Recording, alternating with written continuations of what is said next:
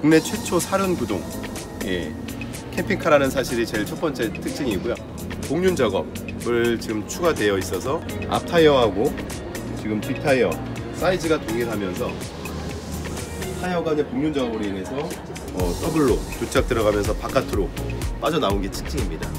어, 기존 이제 캠핑카들 보면 타이어가 뒷 타이어가 작고 상대적으로 어, body 안쪽으로 많이 깊게 들어가 있는 상태들이 많은데 그 부분에 있어서 주행 안전성 이 이제 떨어지는 부분을 저는 이 차량 샤시에서부터 어, 그걸 개선을 시킨 겁니다.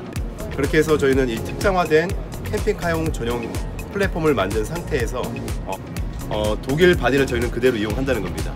독일에 지금 바디에 보시면 Dethleffs라고 적혀 있는데요. Dethleffs사의 어, 바디를 그대로 올리게 되어 있고요. 이 바디는 이제 카라반에 쓰는 이제 카라반 바디를 저희가 독일 완제품으로 안에 있는 모든 가구라든지 인테리어, 수도, 전기, 가스 라인까지 완조립된 상태의 바디를 그대로 저희가 아, 도킹해서 생산되는 모델이 저희 홈스벤 모델입니다.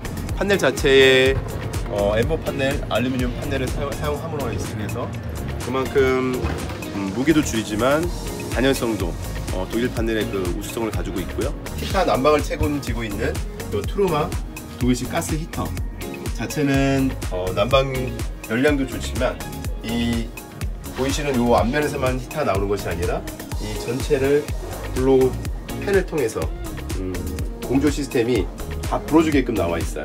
그래서 첫 번째 어, 호출구를 통해서 나오는 이런 닥트들이 있겠지만 지금 뒤쪽에 한번 열어서 보시면 카라반 모든 시트라든지 침대 쪽 그 벽면에 보면 이렇게 공기층 따뜻한 온기 올라올 수 있는 층이 마련되어 있습니다.